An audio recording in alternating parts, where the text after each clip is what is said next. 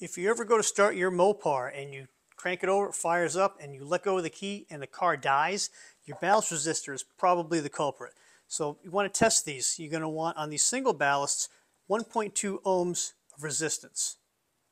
And most of these I have here are going to test out at just that, 1.2 ohms of resistance. If you have a double ballast like this, one side is going to be 1.2, right there. The other side is going to be 5. Perfect. These are working ballasts.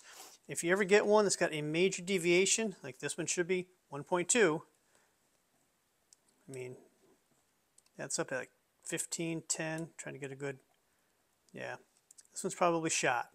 So test your ballast resistors, make sure you got a good one in the car, and uh, make sure you have a spare, always.